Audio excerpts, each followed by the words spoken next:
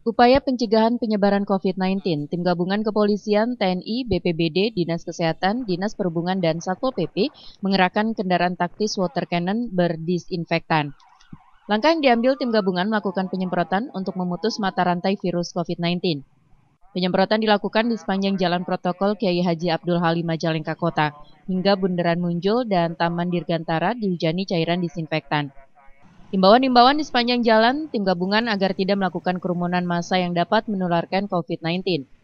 Himbauan dilakukan tim gabungan pada sejumlah pusat jalan serba ada di dekat bundaran bola dunia muncul. Kedatangan tim gabungan membuat sontak kabur para remaja yang sedang nongkrong, termasuk yang berada di pinggir jalan. Ini adalah bagian dari edukasi kepada masyarakat bahwa berkerumun itu harus dihindari ya karena potensi penyebaran itu dengan berkerumun menjadi lebih besar ya karena menyebar lewat udara kemudian lewat nafas ya kita tidak tahu orang itu tertular atau tidak ya yang tertular pun bisa menulari orang lain ya oleh karena itu ya ini adalah bagian dari upaya pencegahan ya supaya kita semua Majalengka selalu sehat praharja dan dijauhkan dari virus corona ini. Edward Spendi, Kabupaten Majalengka, Jawa Barat melaporkan untuk CTV Network.